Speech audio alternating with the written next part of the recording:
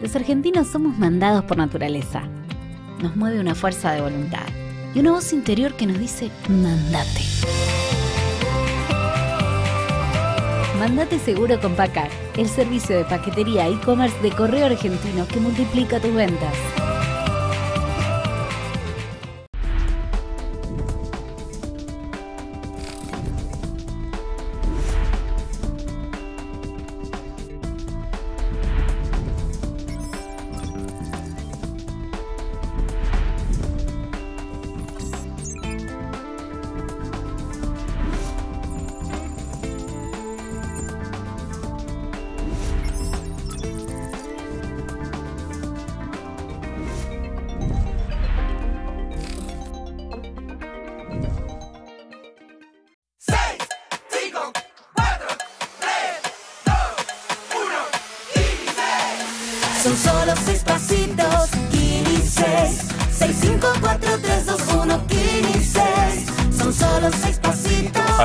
Hay que ayudarla. Con el Kini estás a seis pasos de tus sueños. ¿Qué esperás para cumplirlos? 6, 5, 4, 3, 2, 1, Kini 6.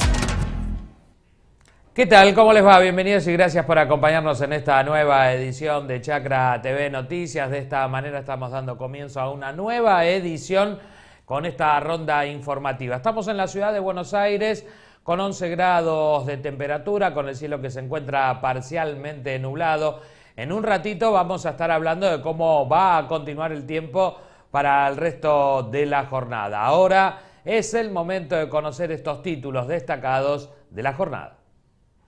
Pese a la mejora del último mes, las exportaciones de carne vacuna de Brasil fueron menores a las de 2022, de acuerdo a los datos reportados por la Secretaría de Comercio Exterior del país vecino.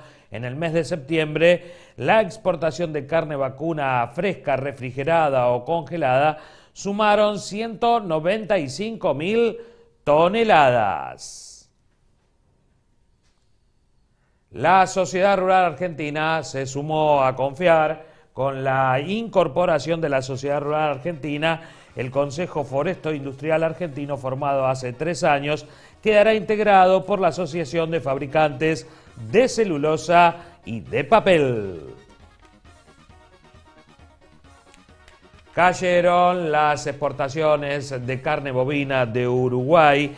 En el mes de septiembre se exportó menos carne vacuna que en el mes de agosto, pero más que el año pasado, las colocaciones externas del noveno mes del año fueron por 37.344 toneladas, una caída marcada del 17,5% frente a las 45.292 toneladas en el mes de agosto.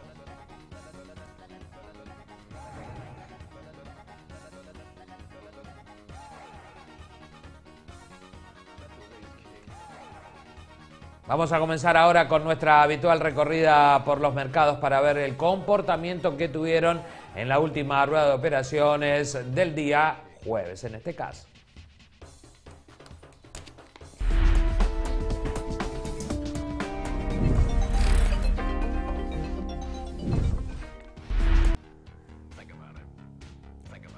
Muy bien, y como para refrescar un poco la memoria, ¿no? Después de tantos días donde no hubo mercado, eh, volvemos en el día de hoy, a partir de las 10 de la mañana, a que comience nuevamente eh, a funcionar el mercado y con eh, suma atención, teniendo en cuenta que el domingo son las elecciones nacionales y veremos el comportamiento que va a tener el dólar. Justamente algunos dicen que se vienen cuatro días muy difíciles y veremos que, cuál va a ser la reacción que va a tener eh, el gobierno nacional para tratar de que el mercado no se desequilibre o que se mantenga por lo menos en los números que tuvimos el día jueves. Y allí el dólar oficial el día jueves en la compra se ubicó en 347 pesos con 46 centavos y en la venta 367 pesos con 46 centavos. El informal finalmente el día jueves terminó descendiendo para ubicarse en la compra en 960 pesos y en la venta 980 pesos. ¿Qué pasó con el mayorista? también acompañó ese descenso, se ubicó en 348 pesos con 95 centavos para la compra, 349 pesos con 95 centavos para la venta. El euro en la compra 367 pesos con 85 centavos y en la venta 388 pesos con 5 centavos. Hay que eh, también recordar y refrescar la información de qué sucedió con los bonos. Bueno, los bonos fueron en alza, también el, el Merval fue en alza y veremos entonces a partir de las 10 de la mañana si estos números se van a sostener o si el mercado empujará el precio hacia arriba eh, teniendo un poco de presión, teniendo en cuenta, como te decía al principio, las elecciones nacionales del próximo día domingo. Vamos a cambiar de tema y vamos a hablarte del tiempo. Una mañanita fresca en la ciudad de Buenos Aires con 11 grados de temperatura. Dimos inicio a la jornada con un dígito de temperatura, pero rápidamente eh, el termómetro irá recalentándose y el mercurio irá en alza. 16 grados la temperatura promedio en la mañana del día de hoy, siempre con el cielo parcialmente nublado. Hacia la tarde iremos en búsqueda de la marca térmica máxima estimada por el Servicio Meteorológico Nacional para el día de hoy, que es de 22 grados con el cielo algo nublado. A la noche también con cielo algo nublado y descendiendo la temperatura hasta los 16 grados. Y así estará continuando la semana con mañanitas frescas y con tardes cálidas y vamos a ver eh, qué nos espera para el día de mañana. El día miércoles Seguimos comenzando la jornada con un dígito de temperatura, 9 grados será la mínima, 20 está marcada la máxima también con cielo parcialmente nublado y como te decía, mañana frescas con 14 el, día jueves de mínima, 21 la máxima con cielo parcialmente nublado y el día viernes también comenzando con 14 grados de temperatura y eh, la máxima irá ascendiendo hasta alcanzar los 25 grados con cielo parcialmente nublado. Para el día de las elecciones también, por lo menos lo que va anticipando el Servicio Meteorológico Nacional, que van a ser temperaturas similares, similares digo, a la del día viernes, que estaremos entre los 26 y los 27 grados. Así entonces el tiempo sin lluvias a la vista, eh, por lo menos para esta semana aquí en la ciudad de Buenos Aires. Abrimos nuestra ventana y allí estamos contemplando lo que está ocurriendo en la zona céntrica de la ciudad, con 11 grados de temperatura. A no abrigarse mucho, ¿eh? porque después no vas a saber qué hacer con eh, tanto abrigo. Una camperita livianita, creo que con eso vas a andar bien si todavía no saliste de casa. Allí tenés también nuestras redes sociales para que te vayas comunicando con nosotros en esta ida y vuelta que te proponemos todas las mañanas desde aquí, de la pantalla de Chacra Televisión. Y vamos a comenzar con el desarrollo de la información. En este caso te contaba que pese a la mejora eh, de este último mes, las exportaciones de carne vacuna de Brasil fueron menores a las del año 2022, de acuerdo a los datos reportados por la Secretaría de Comercio Exterior del país vecino.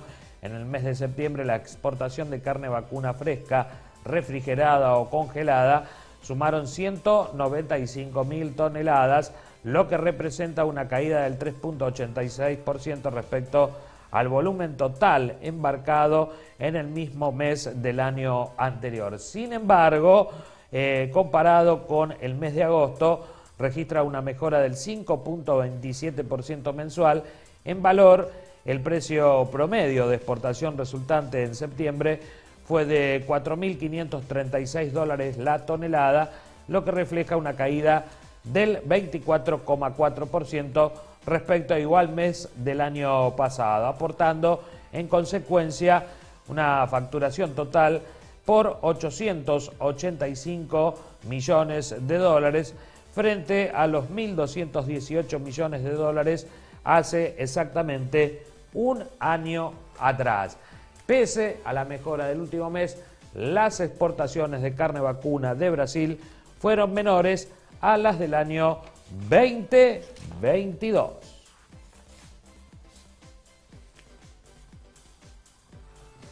Cambiamos de tema y en estos tiempos ya que se acerca el verano, vamos a conocer a través del SENASA las exigencias que tiene la República Argentina para el ingreso de las mascotas.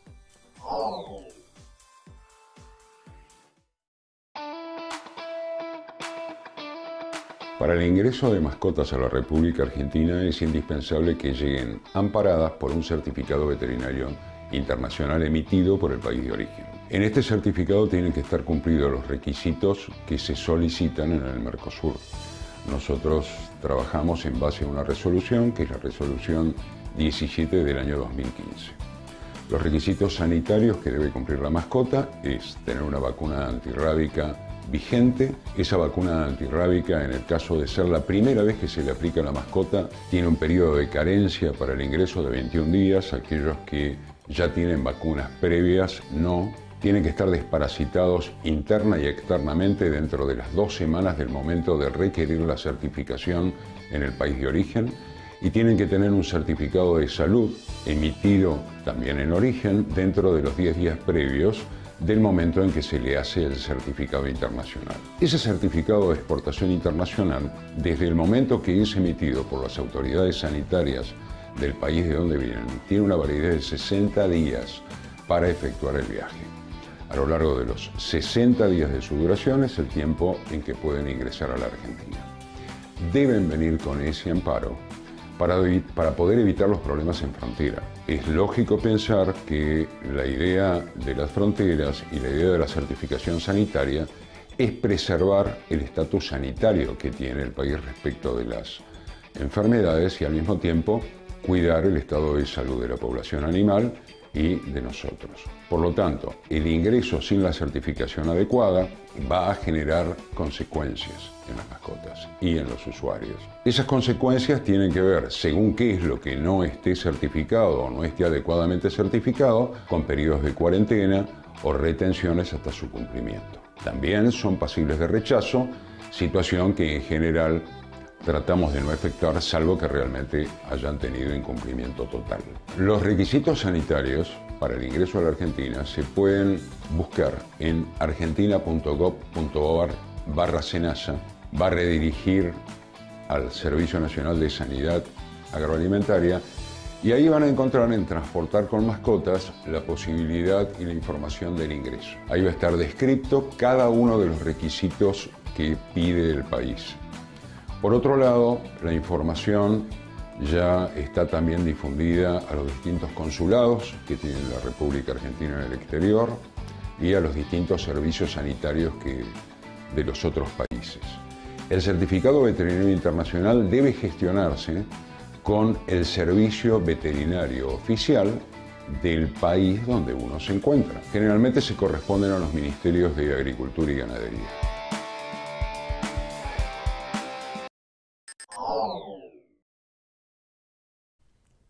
Muy bien, seguimos con información procedente de Senasa y en este caso eh, para hablar sobre la resistencia antimicrobiana. Esta resistencia que justamente perjudica la salud no solamente de animales, sino también la posibilidad de complicar la salud en los seres humanos.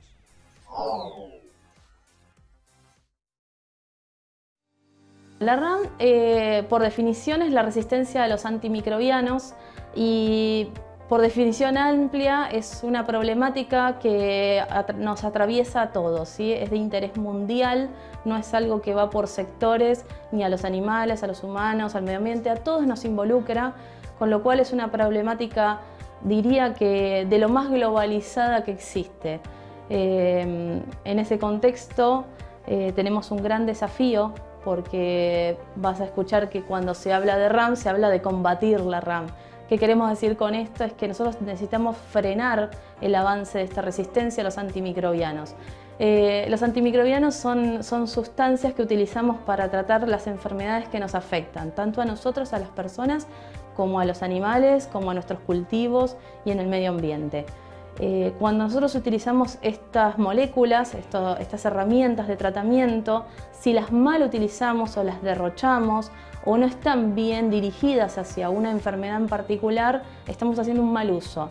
Y cuando hacemos un mal uso, generamos que se haga una resistencia, o sea, esos microorganismos que nosotros deseamos combatir porque generan un problema, eh, en definitiva, lo que hacemos es hacer que esos animales, esos microorganismos se vuelvan más resistentes, más fuertes, con lo cual agotamos las moléculas disponibles. Entonces lo que nosotros necesitamos cuando hablamos de combatir la RAM es hacer un uso criterioso, un uso racional o correcto de estas moléculas que estén dirigidas hacia la problemática.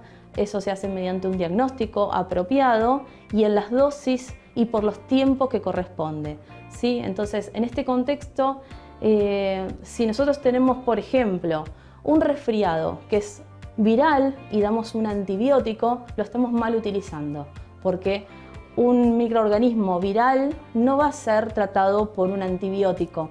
Entonces estamos usando un uso incorrecto y estamos favoreciendo que bacterias que estaban ahí, que son flora normal, generen un proceso de resistencia que encima en toda esta problemática las bacterias, porque obviamente ellas son mecanismos, se están defendiendo, vos los estás atacando, ellos se están defendiendo. Eh, estas bacterias tienen mecanismos de transmitirse no solamente a su descendencia, sino a otros microorganismos, les transmiten estos mecanismos de resistencias hacia los antibióticos. Y de eso hablamos cuando hablamos de combatir la RAM.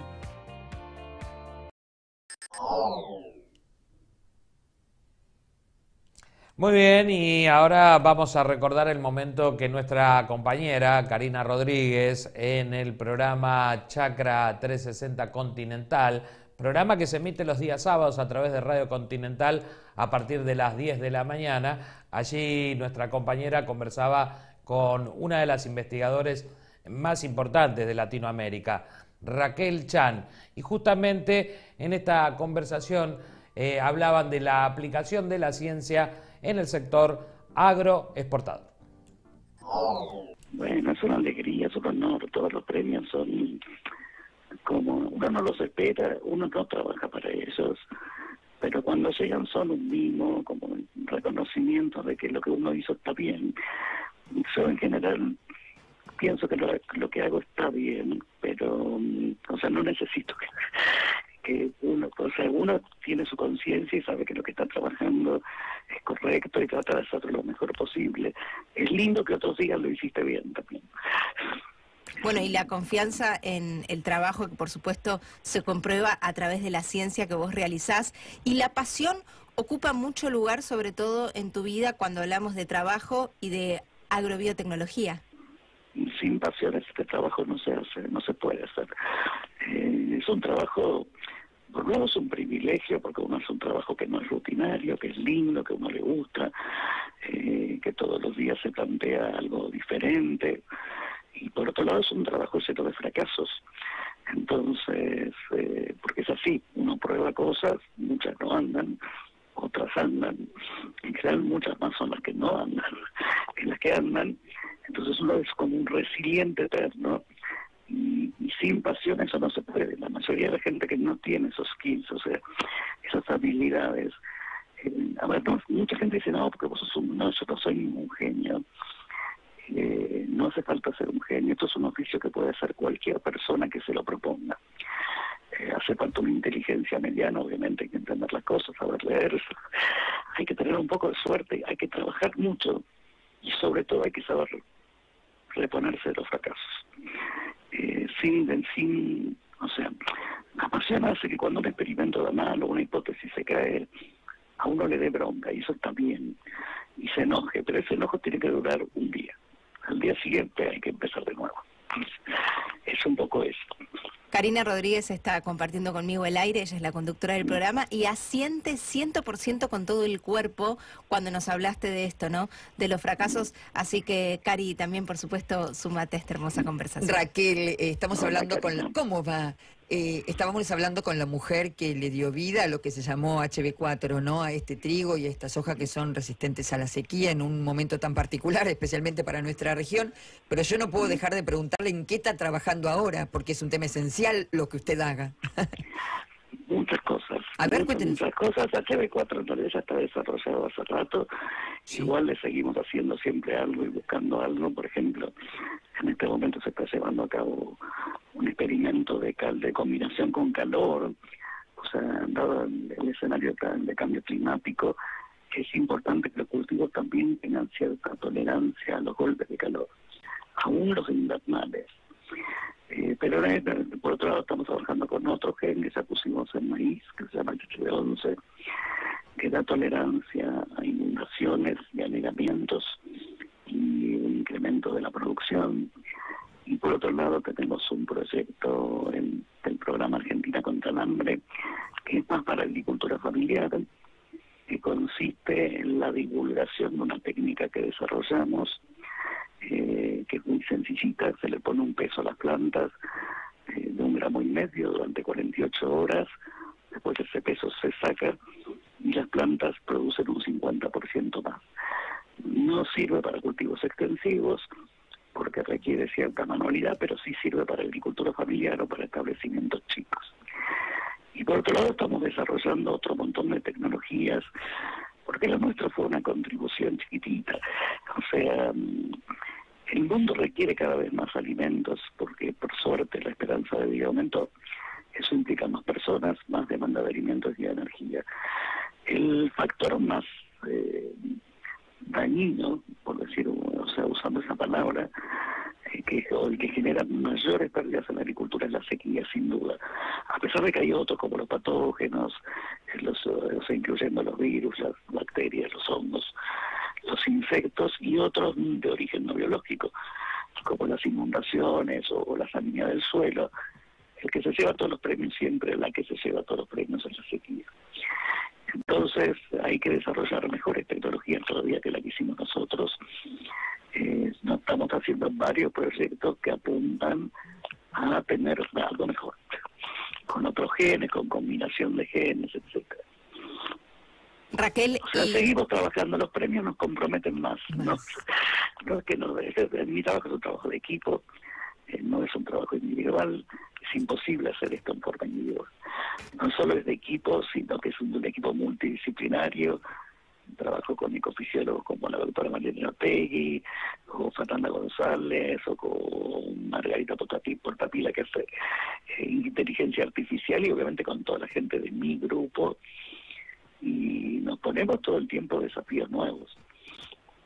Me quedo con dos palabras. Primero, la relación y la aceptación sobre los fracasos. Después, el proyecto en el que están trabajando, Argentina contra el hambre. Y el compromiso que decís sobre los premios, que el lunes vas a recibir otro, que ya sabes de qué se trata y demás. Estamos hablando de Bunge y Born. De la Fundación Bunge, porque me hicieron corregir eso. El premio lo da la Fundación. Exacto. Sí, y te preparás desde lo que corresponde allá donde estás trabajando ahora. Estás radicada ya en lo que es el litoral como directora del Instituto de Agrobiotecnología. Sí, sí, hace 24 años estoy acá. ¿Cómo está la realidad allí productiva y cómo ustedes también toman esa realidad para todo este equipo que nos haces entender y visualizar que trabaja con vos, Raquel?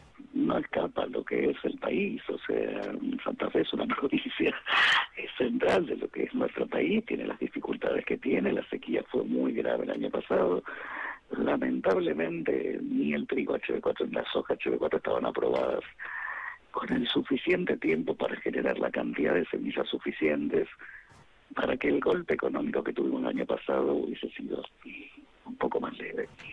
Eso yo realmente lo lamento mucho es una, cuestión bien política de la parte regulatoria. Eh, si hubiésemos tenido aprobado mucho antes del 2021, las plantas hay que reproducirlas, ¿no? Para generar más semillas, hubiese habido más que eh, hubiesen por lo menos amortiguado el terrible golpe que, que, tuvimos. Nuestro país es un país agroexportador. Eh, sabemos que las divisas que entran entran de la exportación y lo demás que, que exportamos son granos el año pasado fue fatal. Es de público conocimiento, no estoy diciendo nada novedoso. Esperemos no volver a pasar por uno así. Estamos conversando con Raquel Chane y tengo dos preguntas en una para hacerte en función de lo que puntualizabas. En primer lugar, eh, no puedo dejar de preguntarte cuál es el el sistema, eh, o cuál es la visión que vos tenés sobre, yo debo aclarar que hablo subjetivamente, yo soy producto de la UBA, por ejemplo, en mis tres carreras, entonces digo... ¿Quién no? Todos somos ¿Cuál es tu visión sobre el sistema público de ciencia? Porque con vistas a las próximas elecciones, independientemente de la política, de, de la política partidaria, hay un cuestionamiento respecto de qué se investiga, cómo se investiga, y por el otro lado, ¿se necesita una nueva ley de semillas en función de, de, de lo que decías recién? De lo primero puedo contestar con un poquito más de solvencia eh, y de lo segundo puedo decir que sí, pero lo primero, a ver, la, la ciencia en los países desarrollados es una política de Estado. Eh, no cambia con los gobiernos. Nosotros todavía estamos siempre sujetos a qué define el gobierno que gana las elecciones.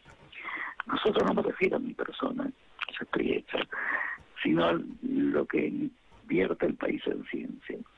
Eso es lo primero, el primer, concepto es ese, la ciencia no es un gasto, es una inversión.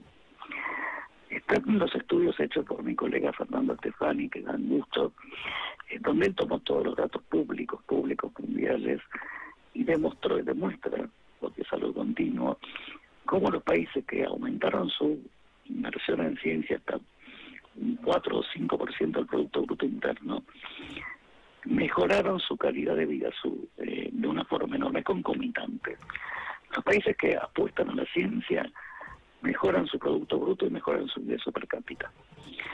Entonces me resulta a veces hasta, no sé, como una obviedad, obviamente no lo es, porque para mucha gente no lo es y se está cuestionando, que la ciencia es importante para que este país pase a ser un país de nuevo del primer mundo. O sea, como era una potencia hace 100 años, pero... Eh, ¿Qué se investiga? ¿Cómo se investiga? ¿Tenemos que mejorar? Sí, por supuesto. Siempre se puede mejorar, siempre se puede discutir en el interior de las instituciones y hacia el exterior cuáles son las necesidades, qué es lo más prioritario, cuáles son las estrategias de mejora y cuáles deben ser las políticas públicas. Ahora, decir que la ciencia hay que cerrarla y que los investigadores de CONICET o de donde sea, de INTA, tenemos que ganarnos el pan con el sudor de la frente, es insultante, demuestra una ignorancia muy grande. O sea, nosotros trabajamos mucho, con mucho compromiso, eh, con muchísimo compromiso, muchísimo más que en otro tipo de trabajo probablemente. Eh, no sé qué, qué, más decir de eso. Me parece que aparte de la ciencia, eso por ahí no, no se da cuenta toda la gente que la tiene continuamente en la vida cotidiana. Eh, la gente de la edad media hace 500 años vivía hasta los 30 años como mucho. Y hoy, por suerte, dependiendo de los países, vive hasta los 80. eh, en el interín que hay ciencia, ciencia médica, ciencia profiláctica, hay vacunas, antibióticos, bueno, todo lo que pasó en 500 años que hacen que hoy las personas de 80 años puedan llevar una vida plena. Eh, ciencia está en los materiales con los cuales nos vestimos, en la comida que comemos, en el auto, en el celular, en la computadora, en el teléfono. Todo lleva ciencia y sin ciencia no lo tendríamos. Entonces, eh, a veces no nos damos cuenta que la tecnología depende de la ciencia. O sea, nadie desarrolla un celular si no se supiera la física de la transmisión de señales. Exacto. Para llegar a esa física, el sistema público es importante, por lo menos a mi criterio, ¿no es cierto? Porque aporta aquellas investigaciones que quizás no les interesan en un principio a un privado. No le va a interesar porque el privado obviamente no quiere arriesgar tanto eh, y las cosas que se investigan muchas van a terminar no sirviendo. No digo no sirviendo, siempre sirven para el conocimiento me refiero no siendo aplicables inmediatamente, o tal vez no siendo aplicables nunca, como el arte. A ver, si uno tiene un cuadro y lo mira y le da placer, alguien se pregunta para qué sirve. Yo no entiendo por qué todo lo que se hace en ciencia hay que explicar exactamente para qué sirve, pero supongamos que lo miremos desde un punto de vista súper utilitario. Yo no hubiese hecho lo que hice, ni muchos otros, ni Gaby Rabinovich estaría desarrollando anticuerpos para curar el cáncer o para aminorar el cáncer, si Watson y Crick no hubiesen descubierto cómo era la estructura de la molécula del ADN. Entonces hacían rayos X, hacían cuentas, cálculos, no sé qué, llegaron a un modelo. Se basaron en conocimientos previos de muchos otros científicos, no voy a nombrar a todos, porque porque se van a aburrir, pero ese conocimiento absolutamente básico es el que fue la base después de toda la ingeniería genética. Si yo no supiera cómo es la estructura del ADN, no podría hacer nada de lo que estoy haciendo. Entonces la utilidad a veces no es inmediata, se da más adelante, pero los países que son soberanos, el Estado invierte en ciencia. Las empresas también, pero en estadios más, más avanzados, no seguros, pero más avanzados. Y hay muchas cosas que se encuentran en forma incipiente. Entonces el rol del Estado es fundamental ahí, porque si no, no lo va a hacer nadie. La empresa empieza a invertir cuando ya se le ve miras de que eso va a servir para algo con riesgo a veces, pero por lo menos es un grado de riesgo. Muy bien, es el momento de hacer una breve pausa. Quédese con nosotros. Enseguida regresamos con más información.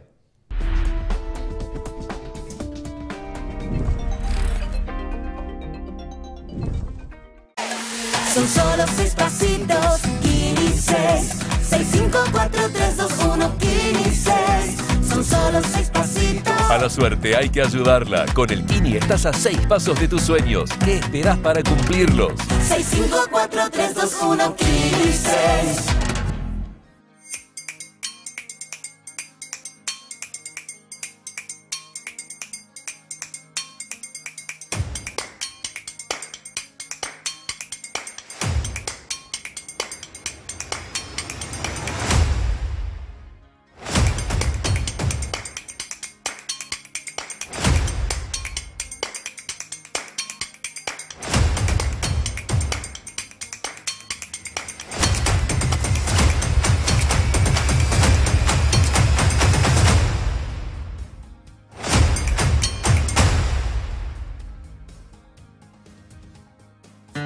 Sabemos muy bien el esfuerzo que hacen miles de argentinos que trabajan e invierten en nuestra tierra.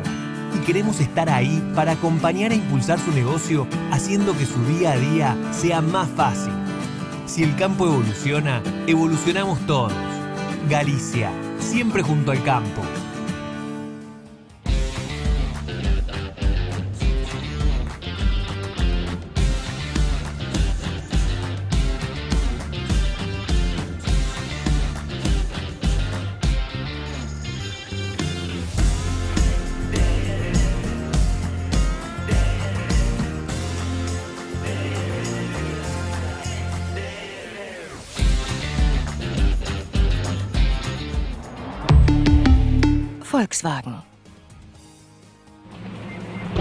En La Dulce Cooperativa de Seguros somos especialistas en granizo, con más de 100 años de experiencia protegiendo los cultivos de nuestros asociados y brindando un servicio de excelencia en todo momento. Solvencia, nuestra garantía. 0800-222-6060 www.ladulceseguros.com.ar Su desempeño y el respaldo de una gran empresa de 60 años en el mercado harán de la sembradora Crucianelli su mejor inversión. Carne Argentina. Carne sustentable. ¿Sabías que la producción ganadera argentina se hace de manera sustentable? Un gran porcentaje de la producción se desarrolla en praderas y pastizales naturales, permitiendo mantener carbono y agua en los suelos, conservar materia orgánica y mantener la biodiversidad del ecosistema. Carne Argentina. Carne sustentable. Encontrá más información en www.ipcba.com.ar. Líneas de financiación para estar más cerca de su nueva sede. Todo el país se siembra con sede. Lo mejor del fútbol está en DirecTV y Digo.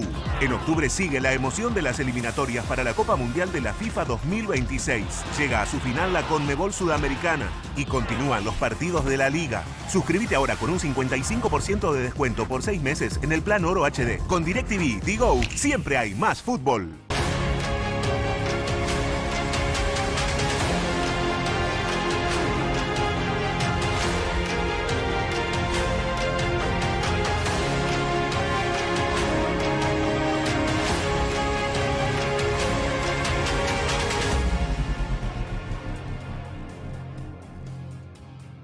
Es hora de ganar. Entrega tu cabezal usado y llévate un draper nuevo. O podés reformar tu convencional a lona. piersantiplataformas.com.ar ¿Buscas un seguro que te la haga fácil? En Experta Seguros te damos descuentos desde el primer día que nos contratás y podés gestionar todo al toque de manera digital. Consulta con tu productor asesor de seguros. Experta Seguros, un seguro que te la hace fácil, muy fácil.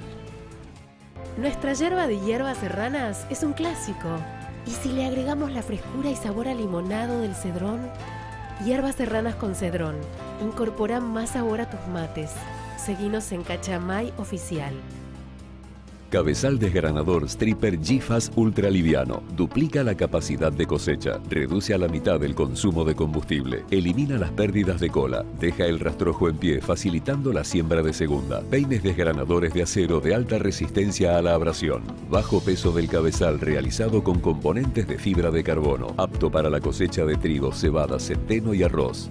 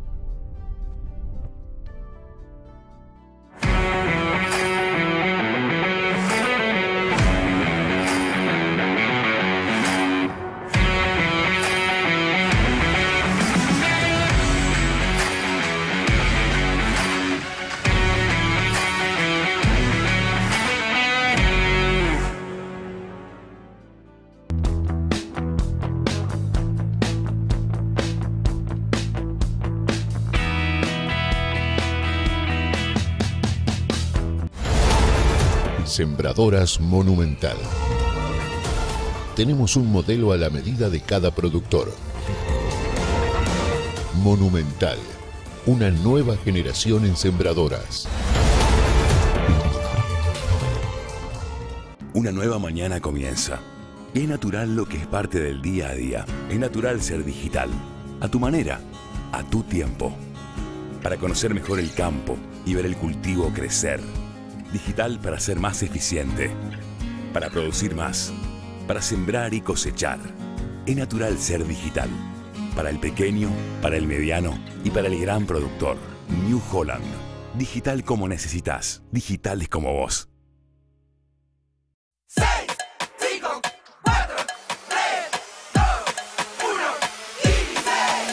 Son solo seis pasitos, 16. Son solo pasitos. A la suerte hay que ayudarla. Con el Pini estás a seis pasos de tus sueños. ¿Qué esperas para cumplirlos? 654321516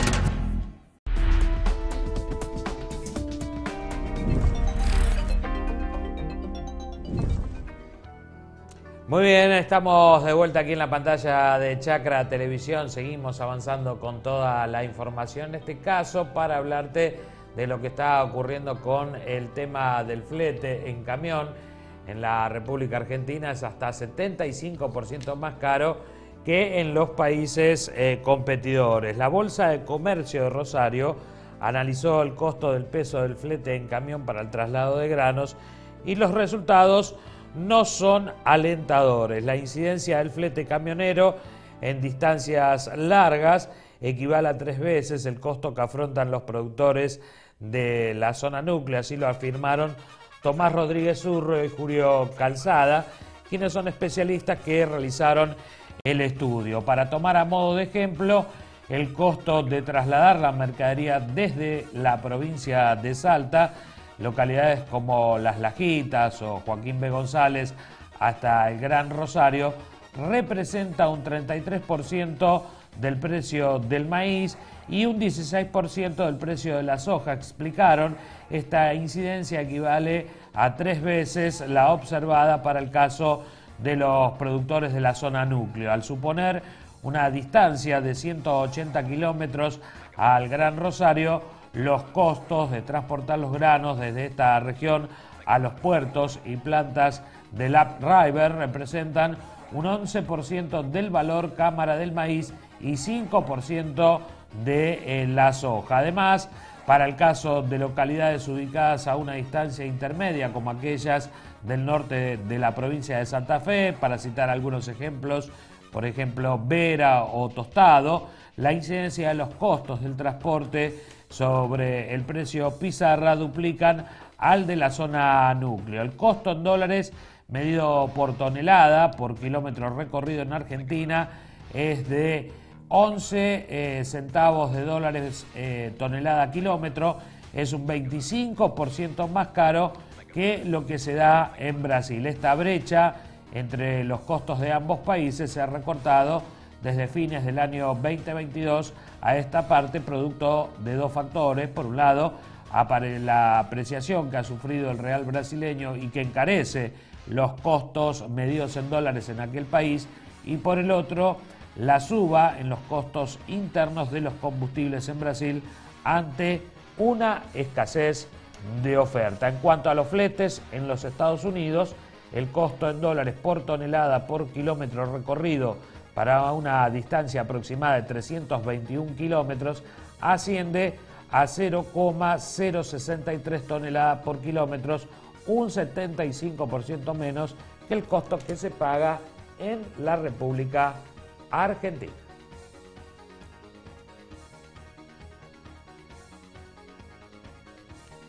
Momento ahora de conocer una información importante para todos los productores, tiene que ver con el tiempo. ¿Cuál será la cantidad de lluvias que tendremos, la humedad de los suelos? Todo esto lo conocemos a través de este reporte de Agroclip.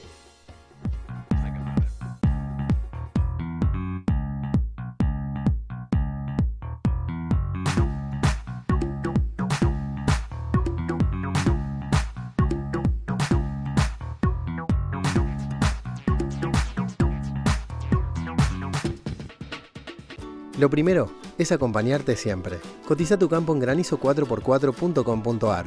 La segunda seguros. Lo primero, sos vos. El fenómeno El Niño se activó durante esta primavera, pero el avance viene siendo irregular por los vientos polares y posiblemente deje amplias extensiones sin aportes pluviométricos adecuados. Y desde el inicio de la temporada 2023-2024, el anuncio del desarrollo de un niño vigoroso con mucha presencia nos viene dando una sensación de optimismo, esperando un inmediato incremento de las precipitaciones para poner fin a la prolongada sequía causada por los tres episodios consecutivos de la niña que afectaron a las campañas agrícolas anteriores. Al no concretarse el inmediato retorno de las lluvias, el optimismo dio un paso a una sensación casi pesimista, pero es necesario aclarar que es muy raro que los efectos del El Niño se activen durante el otoño y el invierno, es decir, meses que nos anteceden, siendo más frecuente que lo hagan a comienzo de la primavera y se mantenga hasta el invierno del año siguiente, es decir, hasta el invierno 2024. Pero por esta causa, el otoño y el invierno 2023 conservó rasgos propios de la niña, es decir, de una sequía, un comportamiento que se repitió en el cinturón maicero norteamericano que atravesaban la primavera y el verano del hemisferio norte, nosotros viviendo el invierno. Pero aunque el presente episodio de El Niño es sumamente vigoroso hizo sentir sus efectos en Australia, la India y otras regiones del mundo y es muy probable que las consecuencias, la presencia del niño sobre el cono sur, resulten perturbados por una fuerte actividad de los vientos polares que impulsan las corrientes frías de Humboldt y Malvinas a lo largo de las costas de Sudamérica, obstaculizando la entrada de humedad hacia el interior y deprimiendo los mecanismos de lluvias. Durante las últimas semanas registramos cómo empezaron a recibirse precipitaciones localizadas en zonas del área agrícola y aunque el proceso fue irregular, subsistiendo grandes extensiones sin recibir un alivio efectivo, su ocurrencia constituye un signo del gradual desarrollo de este fenómeno, de El Niño.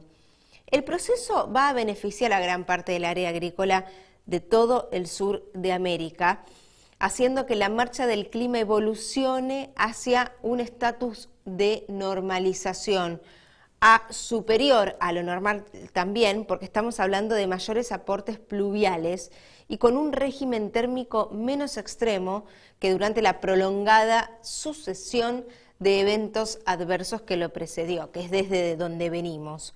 No obstante, la interferencia de los vientos polares va a impedir expresarse en forma completa al niño, siendo probable que subsista un amplio foco con aportes pluviométricos insuficientes en el interior del área agrícola de nuestro país, me refiero de Argentina, con su foco en el centro y el este de Córdoba, el norte de La Pampa también, el centro y el sur de Santa Fe, el sur de Entre Ríos, el extremo sudoeste del Uruguay y el norte de Buenos Aires, con focos secundarios en diversas zonas del área agrícola.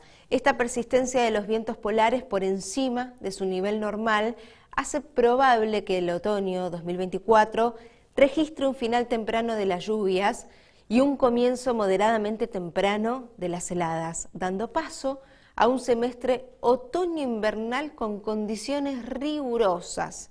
Puede concluirse que con un adecuado manejo y haciendo riguroso uso de la tecnología disponible, la mayor parte del área agrícola del cono sur podría obtener buenos resultados productivos, aunque algunas zonas no van a lograr una recuperación, una reparación del 100%, es decir, una reparación completa.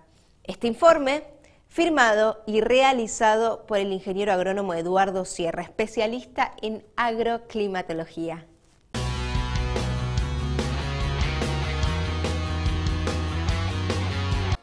Muy bien, nos vamos a ir rápidamente hacia el mercado agroganadero allí en Cañuelas, donde, se encuentra trabajando nuestro compañero Alejandro Canepa. Alejandro, buen día.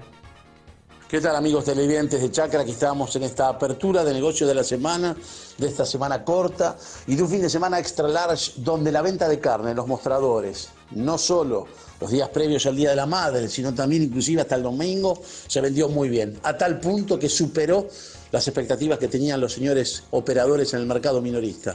Muy buena, excelente. Hacía tiempo que no había una venta de carne tan importante. El argumento de la mayoría de los casi 150 relevamientos que hice en cuanto a carnicerías del conurbano y Gran Buenos Aires. Y esto sumado a los 4.653 vacunos que se vendieron o se están vendiendo, mejor dicho, en la rueda de hoy, que no están alcanzando, están determinando una plaza firme, netamente tomadora, venta rápida, ágil y fluida, no importa el plazo, buscan calidad, estado y terminación. Cuando aparecen todos los renglones ya se están recuperando los 30, 40 y 50 pesos que había perdido el precio de la hacienda en pie el pasado miércoles. Es más, en algunos renglones como la vaquillona pesada y esa vaca con quilaje de vaca, con textura física de vaquillona, al igual que algunos lotes de novillos pesados y muy pesados, está por encima ya de los valores del miércoles último. Plaza netamente tomadora con una expectativa para la jornada de mañana y del próximo viernes. Novillo liviano y mediano hasta 440, 450, 460, 470 kilos se están pagando entre 850 y 900 pesos, con tope de 905, 908, pero hay de 515 y 520 kilos 928 pesos, lo que les decía al comienzo, ese novillo pesado y muy pesado que no hay, pero hay de 575 kilos 918 pesos y por 510, 530 y 550 kilos recién vendidos 932 pesos. En el consumo chico, novillitos medianos hasta 390 kilos se pagan entre 870 y 920, con tope de 9.25, 9.30, pero por excelencia un par de lotes a 9.32 y 9.35, tanto por pesados, hasta los 430 kilos se están vendiendo de 860 a 910 con máximo de 9.20, 9.25, 9.30 y hay un lote a 935 pesos en el límite. Pesan 391 kilos a prueba, podrían dar medianos. La vaquillona mediana muy buscada, muy pedida entre 820 y 850, con máximos de 860, 880 y 900, al igual que las pesadas hasta 430 kilos. El límite con vacas se están colocando 850, 855, 870 y 882 pesos por kilo en pie. El terreno entre 880 y 900, máximo por machos, 910, 915, 920 y la ternera entre 870 y 900, con tope de 905, 908. Hay 910, 915 y hay un 930 dando vuelta, no lo tengo confirmado. La vaca con más de 430 kilos mestiza entre 650 y 750, topes de 760, 770, 780 y hasta 800, pero hay 810, 840, 850, 900 y 915 pesos, unos vacones espectaculares con quilaje de vaca, con textura física de vaquillona, que hace las veces de novillo pesado que, por ejemplo, hoy no hay prácticamente en oferta. Conserva inferior fundida Tachina 550, 555, 557, la buena 558, 560, 562, se paga la manufactura al consumo regular 565, 568, 570 y los toros entre 630 y 710 con tope de 720, 730 y 750 pesos. Plaza firme, netamente tomadora, recupera lo que había perdido el miércoles el precio de la hacienda en pie es más. En algunos renglones queda un pequeño saldo favorable con gran expectativa para las próximas dos ruedas, para mañana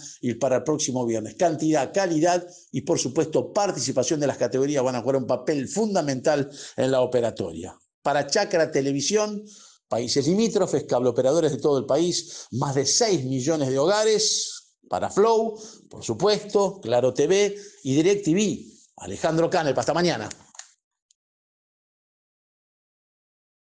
Estamos llegando al final de esta edición de Chacra TV Noticias, pero antes vamos a ver qué nos depara el pronóstico del tiempo con datos suministrados por el Servicio Meteorológico Nacional. Allí nos está indicando que el día miércoles tendremos cielo parcialmente nublado, 9 grados de mínima, 20 será la máxima. El día jueves, 14 la mínima, 21 la máxima con cielo parcialmente nublado. Y el día viernes con cielo parcialmente nublado, mínima de 14 grados, máxima de 25. Ahora sí le ponemos punto final a esta edición de Chacra TV Noticias.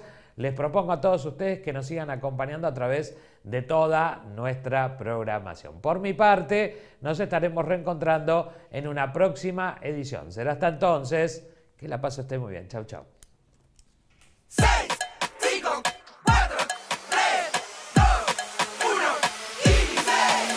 Son solo seis pasitos, Kini 6.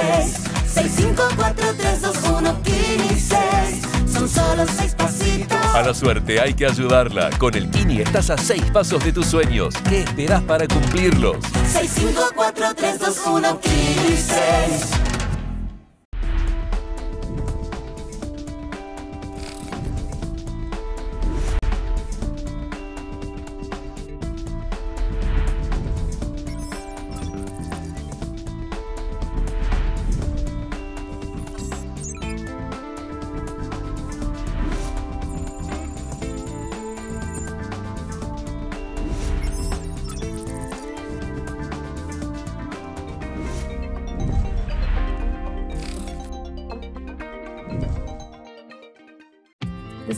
Somos mandados por naturaleza.